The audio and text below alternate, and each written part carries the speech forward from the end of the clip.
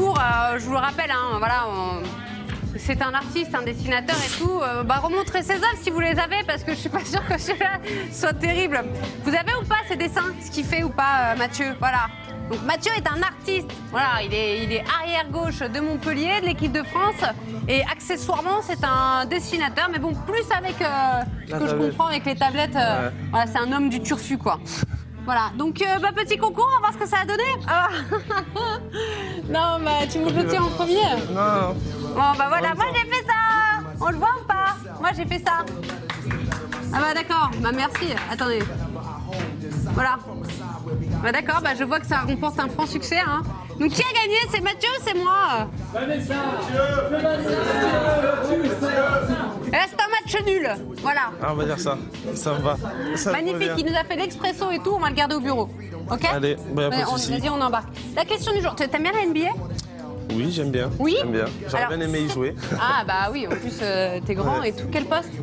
Meneur, c'est pas mal. Ouais, ouais, ouais. ouais. Euh, cette nuit, c'était le Martin Luther King Day. Gros match entre Cleveland et euh, Golden State avec une victoire, mais une fessée même euh, des Warriors. La question du jour, du coup, c'est celle-ci.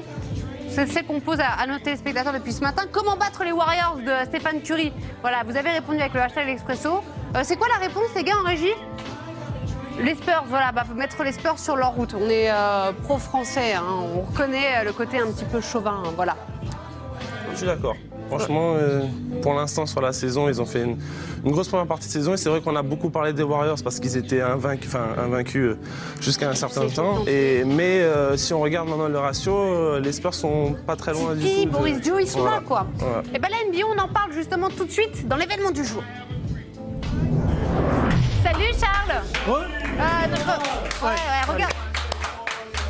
Eh, vous faites pas ça en équipe de France, hein Pas mal, hein non, ça c'est trop compliqué. Ouais, on va faire simple. Hein. Bah, on va retourner, je vais te faire marcher, je suis désolée. Ouais, hein. pas de souci. Donc on va retourner. Moi, je, je, ouais, je voulais finir mon dessin, mais. euh, bon. Il Oh, est très c'est bien. Pas, pas obligatoire. C'est- Eh C'est vachement beau Non. Donc évidemment, on commence par le, par le choc de la nuit hein, que tout le monde attendait, c'était celui entre Golden State et Cleveland. Oui, choc euh, qui n'avait de choc que le nom. En fait, les Cavaliers de notre ami LeBron James se sont fait littéralement exploser. Il n'y a qu'à voir sa tête à la fin de la rencontre. Lui et ses petits copains. On va voir Kevin Love qui n'est pas ravi, ravi euh, non plus. Et pour cause, hein, à la Quicken Loans Arena, les Warriors de Stephen Curry ont offert une véritable démonstration offensive et donc éparpillé ses Cavs, complètement dépassés dans le sillage du MVP. Euh, les Warriors menaient d'ailleurs déjà de 26 longueurs à la pause, 70 à 44 et ça a continué avec 35 points à 12 sur 18. Le MVP a montré la voie, bien aidé euh, par André Iguodala, 20 points et Draymond Green, 16 points, 10 rebonds. Côté Cleveland, rien n'a fonctionné à l'image de LeBron James, meilleur marqueur des siens avec seulement 16 petits points. Bref, les Warriors ont littéralement corrigé leurs grands rivaux. À l'arrivée, ça donne 132 à 98. C'est dur, une correction parfaitement résumée par Xavier Vaution et Jacques Monclar. Regardez et surtout écoutez. Dernière minute du troisième quart-temps. Steph Curry. Oh, mais c'est pas vrai, mais arrêtez-le Il vous énerve. Il y a 40 points. Oui, c'est énervant, parce que c'est pas possible d'être aussi fort Non, mais sérieusement, à un moment, ça- on n'a jamais vu ça Jamais vu ça Le gars est dégoûté, LeBron James. Bon, si ce choc entre Cleveland et Golden State n'a pas été euh, à la hauteur à nos espérances, il y a eu plein d'autres matchs hein, durant ce Martin Luther King Day. C'est dur à enchaîner. euh, je ne maîtrise pas encore très bien l'anglais. Euh, première rencontre d'ailleurs au programme, c'était les, les Knicks face aux Sixers. Ouais, les New York Knicks face aux Philadelphia Sixers. A priori, pas le match de la soirée. C'était le premier, c'était une sorte d'amuse-bouche. Et pourtant, ça a été l'un des plus spectaculaires. Alors en fait, euh, au Madison Square Garden, les Knicks. Et les Warriors et les Sixers se sont rendus coup pour coup pendant quatre quarts temps. Là, c'est Kristaps euh, Porzingis pour les Knicks, Jalil Okafor euh, pour les Sixers. Résultat, à 3 secondes de la fin, il n'y avait que euh, trois petits points d'écart et c'est là qu'est entré en jeu le fameux franchise player à New York. C'est Carmelo Anthony. 3 points, bim, c'est dedans pour arracher la prolongation quasiment au buzzer. Première euh, prolongation donc et cette fois c'est les Sixers qui vont s'en sortir au buzzer grâce à Covington. Deuxième prolongation, cette fois pas de tir au buzzer. Carmelo Anthony et ses copains vont plier l'affaire rapidement. Anthony qui termine d'ailleurs à 19 points et à l'arrivée, les New Yorkais finissent par faire plier Philly 119 à 113.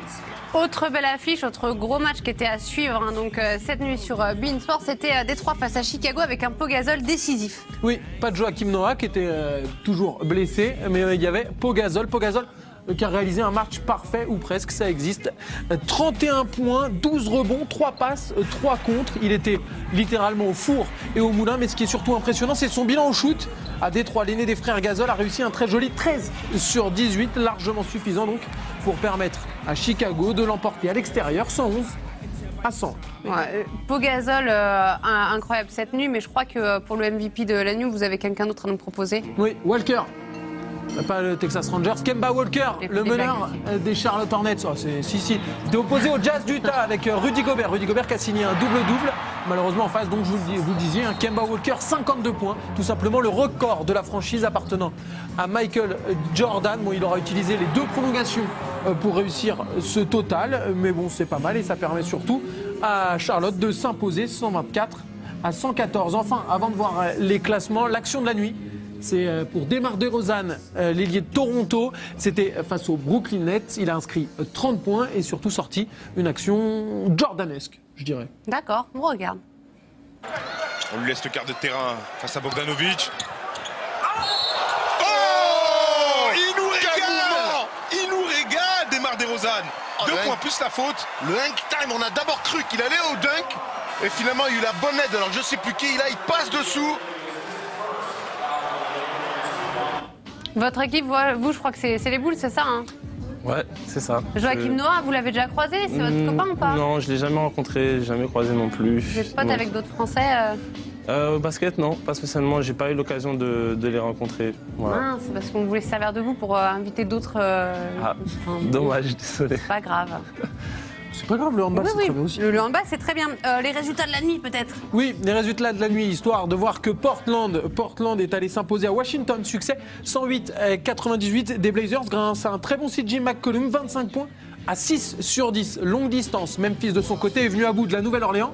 Et c'est un autre gazole, Marc, qui a arraché la victoire au buzzer, 101-99. Enfin, à noter le succès de Dallas face à Boston, 118 à 113. Et puis les Clippers, qui ont dominé Houston, 140 à 132 pour ce qui est des classements. Euh, peu de changements. À l'ouest, les Warriors continuent de faire la course en tête, mais vous le disiez, euh, à l'est d'abord. Pardon, On a commencé par l'est. Donc Cleveland, toujours devant, là aussi, tranquille, devant Toronto, Chicago et qui accuse un peu le coup en bas. New York et Orlando qui se rapprochent peu à peu de Boston à l'ouest maintenant. Hop, on bascule à l'ouest et comme vous le disiez, San Antonio qui est pas très loin hein, de Golden State, seulement deux défaites d'écart entre les deux équipes. Derrière, ça se décante petit à petit. Oklahoma troisième, les Clippers est quatrième et en bas Portland qui refait peu à peu son retard Ça ferait sur une belle affiche pour les finales. Ce serait cool, ça. Ce serait une très belle affiche. Avant de se quitter, juste pour vous rappeler que pas d'NBA Extra aujourd'hui, à la place, un grand zap de cette fameux Martin Luther King. À l'occasion de découvrir, on a deux nouveaux commentateurs, Adiolala et Erwan Abotret. Magnifique duo. Perso, je suis fan. Vous allez vite comprendre pourquoi. J'ai l'impression qu'il saigne de l'oreille. Ouais, je suis même pas sûr qu'il ait du sang. Il doit avoir du sang vert.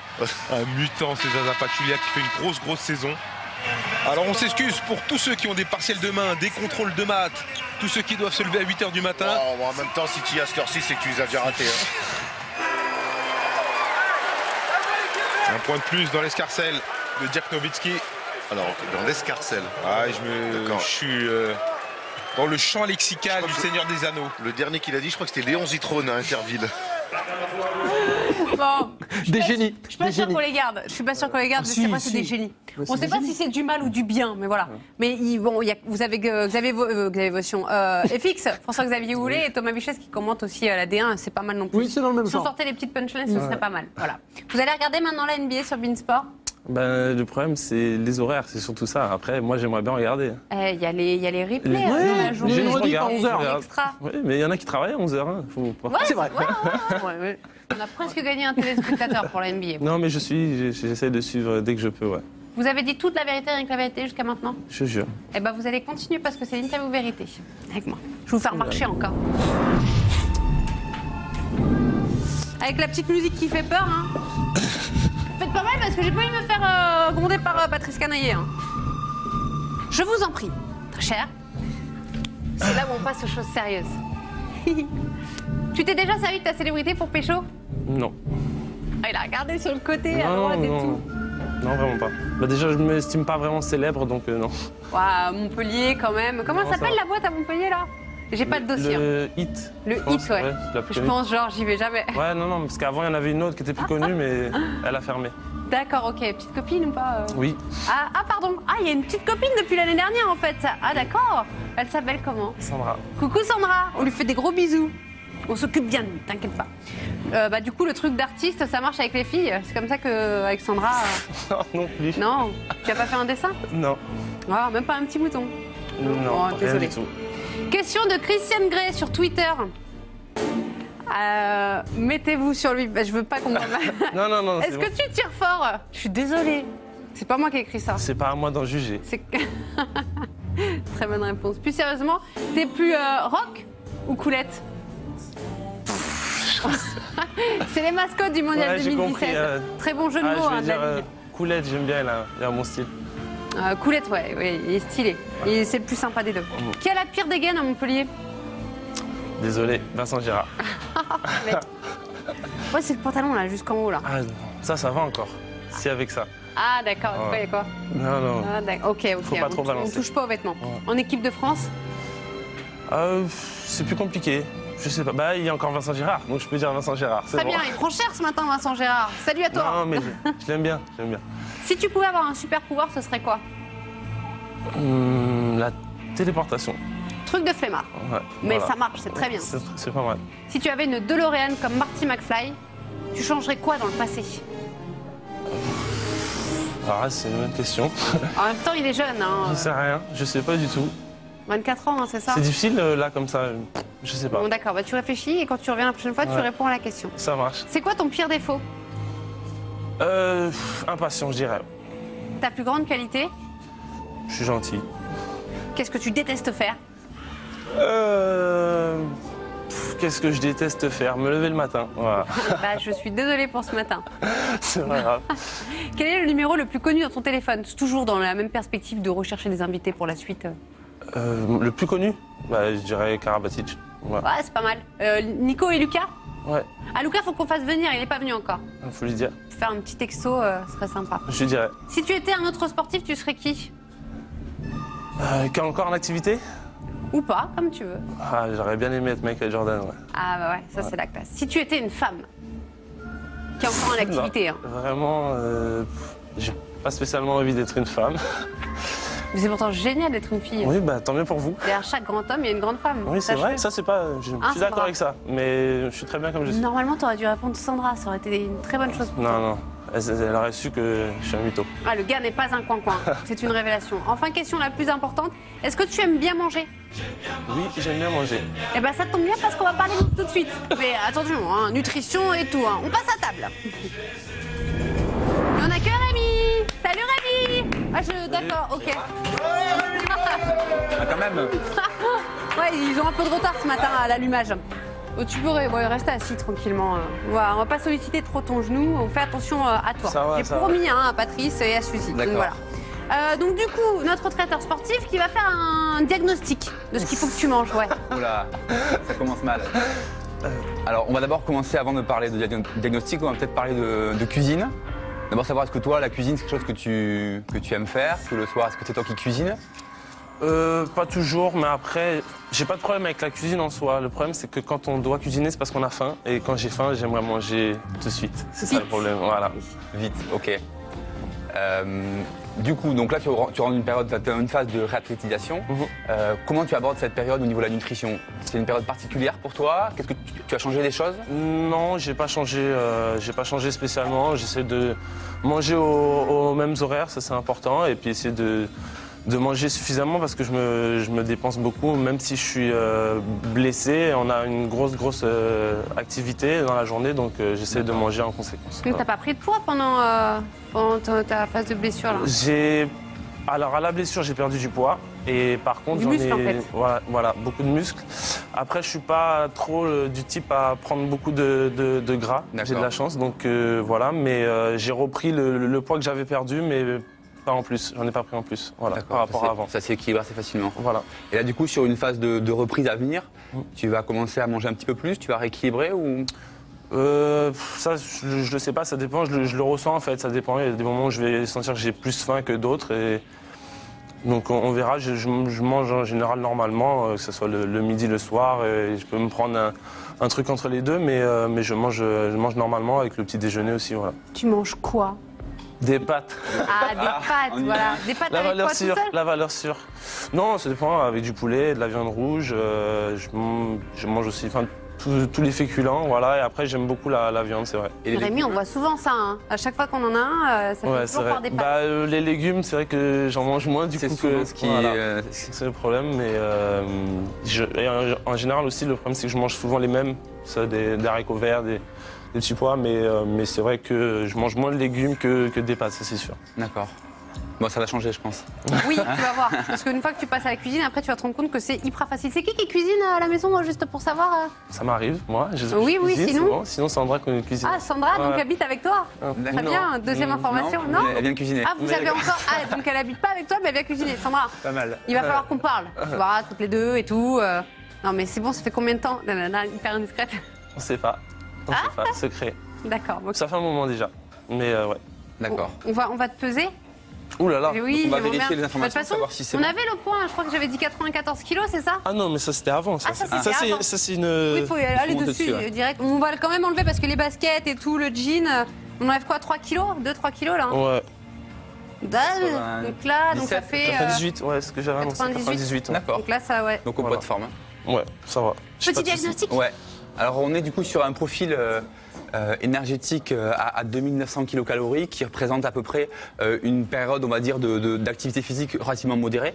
Et, euh, et on t'invite quand tu vas reprendre ton activité sportive potentiellement à manger un petit peu plus et surtout euh, essayer d'amener un petit peu plus de légumes. Et c'est l'objet de cette euh, recette de cette J'ai une semaine. question, Rémi, parce qu'à chaque fois, je vois ça. Métabolisme, 71%, ça veut dire quoi?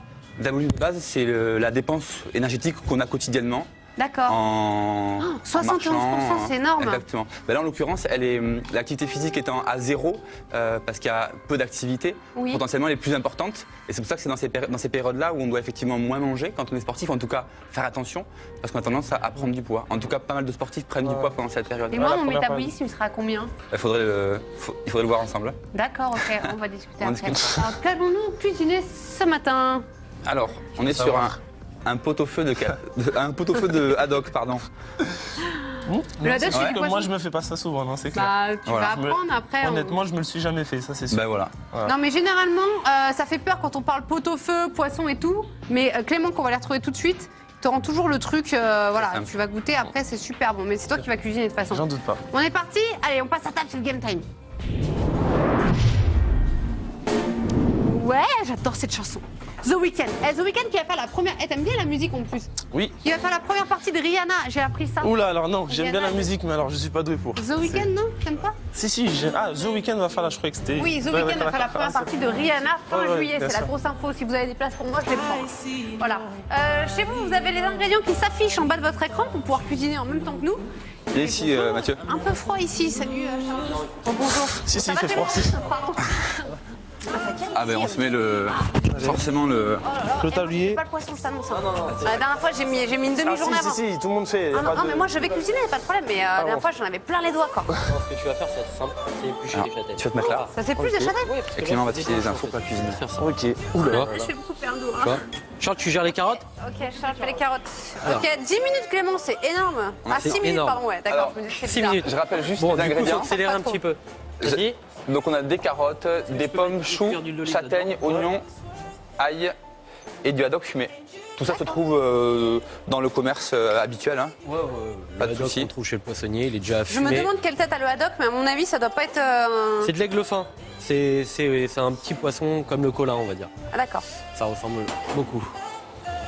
Alors, décris-nous, mettre- hein. Dis-nous ce que tu es en train de faire, Clément. Là, ça fait quoi? Là, on De va préparer de- de l'huile d'olive, oignon, Voilà. on va mettre du chou. On fait le pot-au-feu, là je l'ai fait en version rapide, parce que le pot-au-feu normalement c'est une quarantaine de minutes, Alors donc pour la, que tous les légumes la- soient cuits correctement. la Ah, petite donc technique. déjà, c'est 40 la- minutes. hein. Non, non, non, la petite technique de Clément, c'est que il prédécoupe les, les légumes, il les, fait, il les fait légèrement cuire à la poêle et après on les passe au bain-marie. Donc on gagne un petit peu de temps, on n'est plus qu'à quoi 15 minutes? Ouais, même pas, même pas. Du coup là. Ah, D'abord, faut les passer au bain-marie, mais séparément, hein, c'est ça à chaque fois? Non, là je les ai, là je les ai coupés finement parce que normalement le pot-au-feu c'est des gros morceaux de légumes qui Ah cuisent oui. dans un bouillon. Là je les ai coupés super fins Et tu les coup- mets à la poêle direct? à la poêle direct. Oh oui, d'accord. Bah, Ça jette en plus les carottes directement râpées comme ça. J'ai vu ça. Désolé, euh, désolé Clément. Je vais Tu vas mettre plus. les pommes, les Allez. châtaignes. Toutes les pommes dedans? Ouais, ouais, ouais. Allez. Si tu veux, on te donnera la recette ce soir, hein, avec les petites, euh, les petites quantités pour, Allez, je euh, pour refaire à la maison. Je prends. Là je vais mettre le 100 fumet de poisson. Coin, coin. Ah, je vais sentir bon là. Non, ça devrait aller, ça devrait bien. Ah, ça c'est quoi? C'est l'eau C'est le fumet de poisson. En fait, le, le- normalement, dans un pot-au-feu classique, on va mettre euh, ou du bouillon de bœuf ou quelque chose qui va donner du goût aux légumes et à la viande. Et là, vu que c'est une base poisson, on met un fumet de poisson. Voilà. Le poisson, tu l'as cuit dans l'eau? Là, le poisson, c'est du poisson fumé, il est déjà cuit. Ah, En d'accord. fait, il est. acheté fumé, ouais. Ouais, c'est dur pour moi. Non, moi, en- moi, je suis en galère. Je vais te laisser détailler le poisson. J'y arrive pas. Oula. Tu me fais des morceaux comme ça. Ok. Ok. C'est bon. Et est-ce que tu cuisines du coup à la maison, Vanessa? Ça change ou pas? Euh, bah, hum, vite fait quoi. Vite fait. Si, si, si. euh, Maintenant, en fait, non, je sais mieux faire revenir les aliments, on va dire.